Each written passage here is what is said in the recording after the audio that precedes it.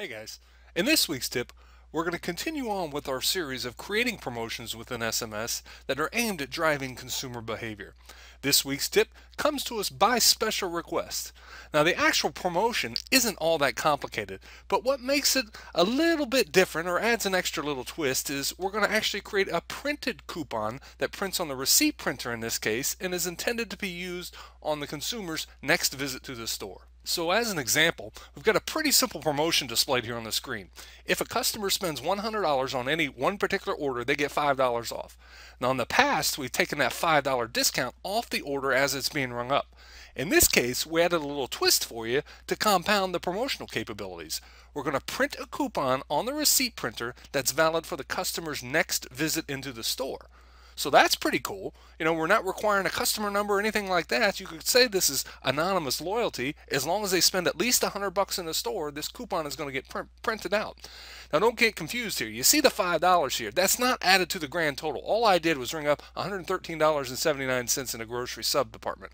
And you can see that $5. It's not adding to the total here, and it's not adding to the total on the receipt. That's just being tracked in a totalizer so that when the customer comes back in, presents the receipt with a barcode on it at their next visit, they get their $5 off.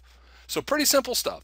But let's hop over to SMS Pro and I'll show you how to set all this up. Okay, so I hopped over to SMS Pro and I'm set up in the basic item cost view that you've seen me use a gazillion times. I went ahead and pre-populated it in with the item number I want to create because the first thing that we're going to do is create the item for the electronic coupon. So I went ahead and populated that here. I'm going to go ahead and hit enter and I'm going to fill all the tables like we normally do. Now I cheated a little bit and I copy and pasted in my descriptor, but basically all I'm doing is saying this is called the spend 100 bucks, get $5 off your next visit. You can fill out the rest of this stuff as necessary. Now when we hop down to the POS table, we're going to have to go ahead and hit the plus because we're adding a record. We'll just go ahead and answer yes for the current item. We want to copy that down. And the little cheat that you already know about, you just double click here in the POS description field and it copies down from the main item description. So that's a neat little tip. Now what are the next steps? You guys know, you've already seen some of these videos, right? Well, but of course you have. So we know we're creating an electronic coupon and we're not necessarily going to have a price field. So we need to come down here to this others field, double click and tell the system we are going to enable zero price for this item we're creating. So what else do we got to do? Well, we got to come over here to the electronic coupon field. We got to double click it and select e-coupon. It's also a store coupon versus a vendor coupon in this case because this is a promotion that we're doing for the store. Now you see this little field right down here, printed coupon? We'll get to that in just a second. I want to go ahead and set up the coupon and prove to you that it works. Then we'll come back here and I'll show you how to do this printed piece. Okay, Smarty Pants, what's the next step? Well, heck, you guys know this. We need to set up the coupon link table. We go to the item menu, come down to coupon link, and it's going to open up the coupon link table. Now, I'm going to drag it up here because it'll allow us to see the full menu here when it pops up here in just a second. Now, we know we're creating an electronic coupon. We've just opened the coupon link table. We have to add a record, so let's hit the plus sign over here for add. We're going to start over here in the type field. I'm going to double click, and it's going to open up the available options for the types of coupons. Now, remember, we're telling the customers that they got to spend a hundred bucks in the store and they're going to get five dollars off their next visit. So what do you think our type of coupon is going to be? Well, that's pretty simple. It's total sales. We're going to come right down here, hit total sales. You'll see you'll get the little acronym there. Now, in the code field, it's just one order. So there's nothing really hard to think about here. Just add the number one. That's pretty simple. The totalizer is three. That's already pre-populated for us. We're not really talking about a quantity in this case. We're talking about an amount. So we're going to go ahead and type in 100. Don't forget to hit the decimal and two zeros. That way SMS sees it as $100 and not just $1 if you hit on 100. Now we're going to go ahead and save that by hitting the apply changes and you can see our coupon link is all set up here. So we've told it the criteria. Total sales, 100 bucks.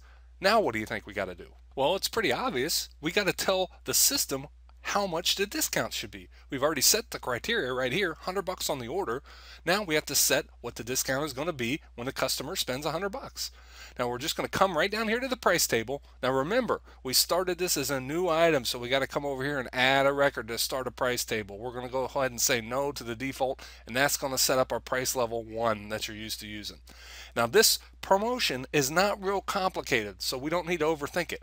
We're just giving $5 off via this electronic coupon that we created right here. So all we have to do is set the price to $5. That's pretty simple. Go ahead and save that, and there you go. We got a $5 coupon if the customer spends 100 bucks. We haven't messed around with the printed piece yet, so I want to show you that this coupon works, then I'll show you all this neat and fancy stuff over here. Okay, so we hopped over to SMS POS real quick because I want to show you that the promotion that we just set up, the electronic coupon, works. So I'm just going to type in real quick here, $112, and I'm just going to assign it to the grocery sub. You can see I met the criteria over 100 bucks on my order. Now when I hit the subtotal key right down here, we should see the electronic coupon pop up here because again, we just set it up as a regular old electronic coupon. We haven't messed with any of that printing fancy stuff yet. So if I hit subtotal, there you can see it. We can net the two. That's how we get to the $107 total because we subtracted the $5 electronic coupon. So we know it works. Now let's go ahead and expand this just a bit to make it even more powerful. So I hopped back over to SMS Pro, and now we're going to go ahead and set this electronic coupon that's just a regular old electronic coupon giving us five bucks off to a printed coupon that's going to be used on the customer's next visit to the store. To do that, you guys already know how to do this. Well, at least one part of it you do. It's pretty simple. You come right down here to the printed coupon field and you just click it. So now it's going to be a printed coupon rather than given on the transaction as it's happening. Now there's one other step that we have to do in order to make this work we have to tell the system on what coupon form we want the coupon to print out on because we have different templates, just like a receipt template, just like a, uh, a customer display template, just like a label template. All these templates that are available to you, you can have multiple ones. So what we're going to do is use the ticket field right over here just to the left, and we're going to tell it that the template we want to use is the coupon win template. Now what that is, is referencing an HTML file that we set up via the label maker that allows you to print out the coupon to however the heck it is you want it to look. I'll show you an example one here in a second. Mine isn't real pretty, but I'll show you an example. Now truly, the system defaults to coupon CPN underscore win that you see right here. I go ahead and type it in because it's a good teachable moment. You can have different templates, so maybe this is a little bit different. Your naming convention could be different, whatever it may be. It's always a good idea to go ahead and put it in here and just make it simple like that. So all we have to do is apply the changes, and now this coupon is going to go from a regular electronic coupon given at the time of sale to one that's printed on this form, on this template, that can be used the next time the customer comes in. That's pretty cool. So real quick before we hop over into the POS and test this baby out, I want to show you an example of what this template, this coupon printed template looks like. Now mine's not real pretty and this isn't a little training on how to set these things up. So yeah, it's kind of ugly. You can giggle all you want. But this is the template that we referred to right over here in the ticket field that says the customer's going to save five bucks because they met the criteria of the electronic coupon that we set up. Now this little barcode right here, look at that. Well, mine's kind of fake, but you'll get the idea. Look what it's relating to. That's the exact item number that we set up for this electronic coupon. So when you scan this barcode on the customer's next visit, guess what's going to happen? Well, heck, I'll show you. Let's go over. Alrighty, so we hop back over to the POS. I went ahead and set this up, so we went ahead and rung up $117.50 worth of groceries. When we hit the subtotal key, we should see, just like we did at the very beginning of the video, that, hey, you got a printed coupon that's going to come out on the receipt printer.